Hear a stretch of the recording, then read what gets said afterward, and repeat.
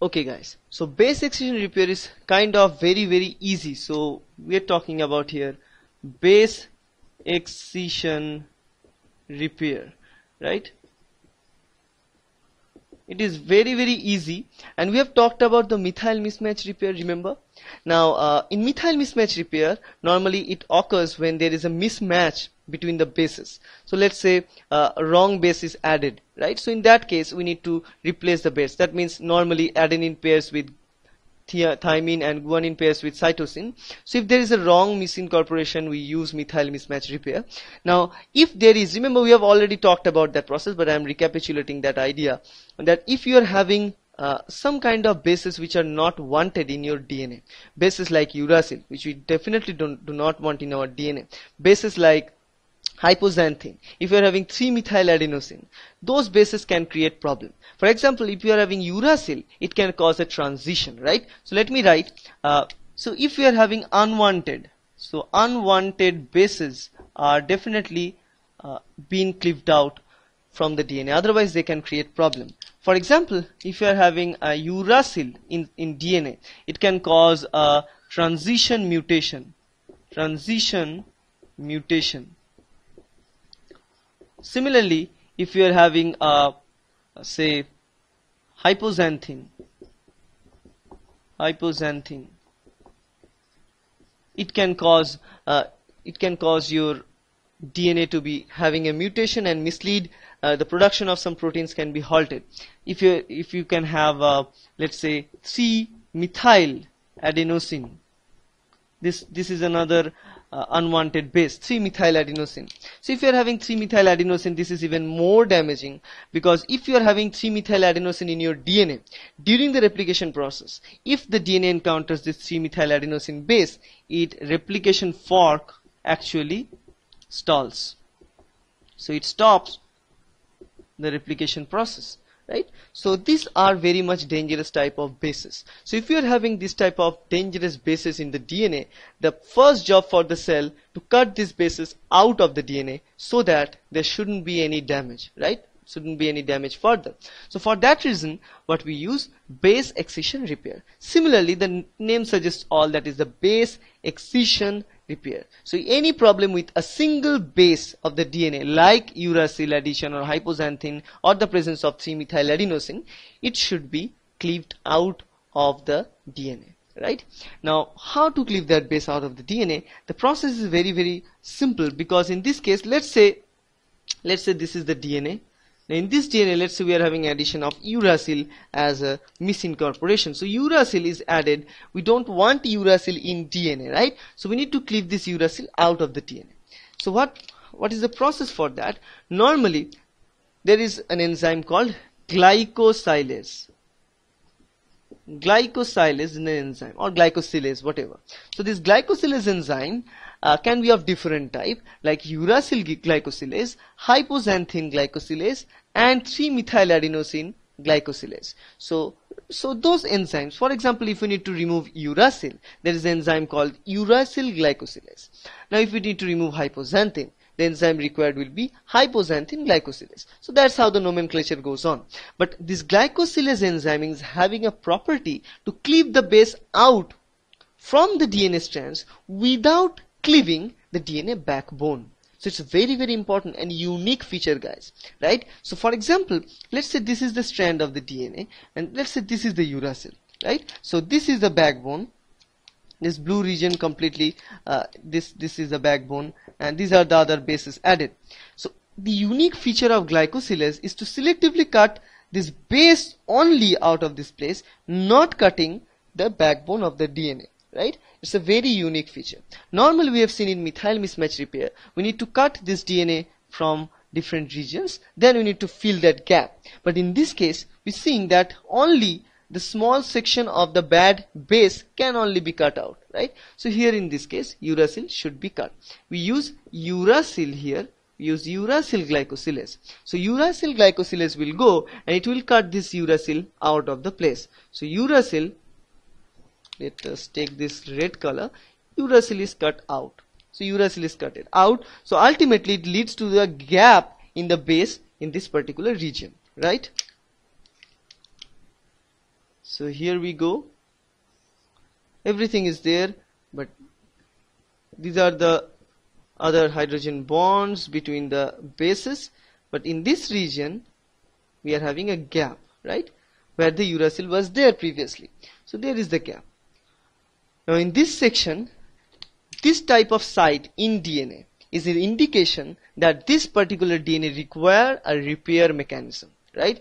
Because this is not normal structure of the DNA because normally bases should be paired. Now we are having a double stranded DNA here. Single stranded condition is not there. So what is going on? All the other uh, bases are paired but one base is single because one base is cut out by uracil glycosylase here so we need to put a base there or we need to actually repair this this kind of structure.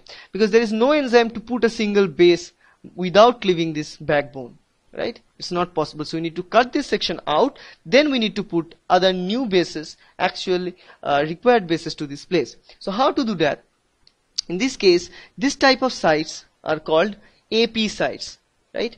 It's called apurinic site or apurimidinic site so apurinic or apyrimidinic site so AP sites this is called AP sites in this case, we cleave a uracil out, which is a uh, which is a pyrimidine type. So a pyrimidinic site will be termed. Normally, if we are cleaving an adenine out or guanine out, it will be termed as apurinic site. Right? So once AP sites is been made, in this case, other so DNA polymerase will be recruited. DNA polymerase 1 will be recruited. And DNA polymerase 1 using its 3 prime activity 3 to 5 prime exonuclease activity. Remember DNA polymerase 1 is having 3 activity. One is 5 prime to 3 prime polymerization activity. Another one is 5 prime to 3 prime nuclear uh, what we can say exonuclease activity and 3 prime to 5 prime exonuclease activity now in this case polymerase 1 will be using its 3 prime to 5 prime exonuclease activity to cleave this DNA from this particular region right so before that, remember DNA polymerase can only cleave it if the backbone is nicked. But in this case, the backbone is intact, right? So we need to nick the backbone somehow. Only after that we can recruit polymerase. So before creating, before recruiting the DNA polymerase, we need to recruit another endonuclease into the place. So what happens from the beginning again? There is a uracil glycosylase. It is cutting the uracil creates the AP site there. Now then an endonuclease called AP endonuclease will be recruited.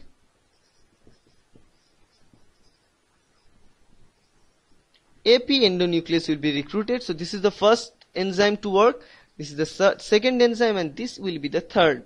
So AP endonuclease, what AP endonuclease will do, it will make a nick in this particular backbone. It will make a small nick.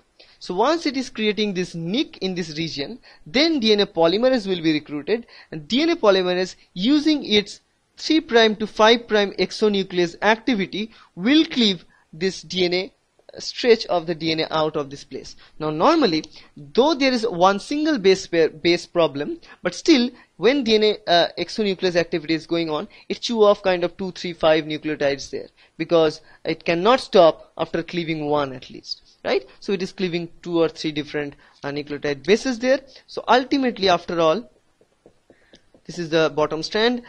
Now the top strand, we are seeing some gap generation now during this this process. Remember it won't lead to any gap actually. Why? Because this is DNA polymerase right? Polymerase can have two activities simultaneously going on. One activity is 3 prime to 5 prime exonuclease activity to cut the bases out.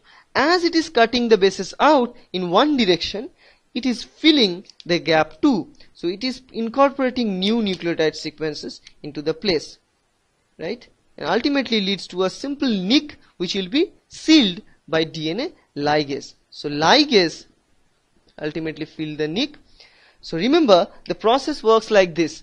DNA polymerase acts like 3' to 5', 5 exonuclease activity to cut this region from this region it starts chewing like this start chewing as it is start chewing it is also filling it with new nucleotide sequence and correct nucleotide sequence so that it it is repairing the DNA so after this process is done it forms a nick because it cannot seal the nick remember on its own requires DNA ligase to seal the nick so after all it will recruit DNA ligase ligase will seal the nick and ultimately the process of DNA repair is complete.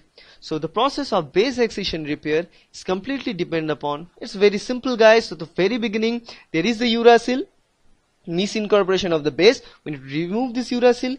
We use uracil glycosylase which will cut this uracil base without cutting the phosphodiester backbone of the DNA so backbone remains intact. Only uracil is out right? After that it, it produces this AP site or pyrimidinic or apurinic site. Now once AP site is produced AP endonuclease enzyme will be recruited which will recognize the AP site and make a cut to the AP site in the backbone of DNA so once the AP endonuclease cut the backbone of the DNA then it will recruit an enzyme called DNA polymerase 1 which using its 3' to 5' exonuclease activity start to chew out those backbone strands, several nucleotides like 3 to 5 nucleotides.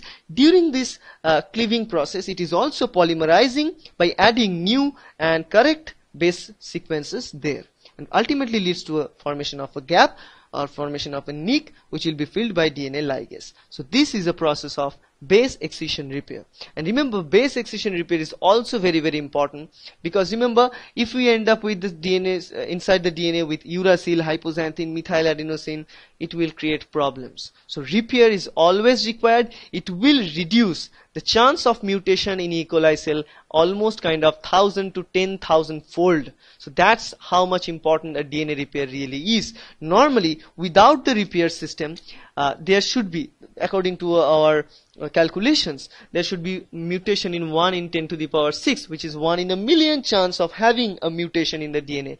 1 in 10 to the power 6 nucleotide sequence. So in every 10 to the power 6 6 nucleotide sequence there is one chance of mutation or one chance of misincorporation of nucleotide so one chance of mutation but actually the mutation probability is 1 in 10 to the power 9 or 1 in 10 to the power 10 in E. coli so that means it kinds of reduces. So the repair machinery inside the cell kind of reduces this this value almost 1000 to 10000 times. That's how much important DNA repair really is right? This is the repair of only one base. Now there is another repair mechanism inside the DNA which can remove a multiple base. Because if it forms any kind of lesion in the DNA it can just leave that section of 20 to 25 base pairs. Just cut that out and incorporate a new uh, actual correct base, base pair or bases. That is called nucleotide excision repair. We'll be learning that in the next video. Thank you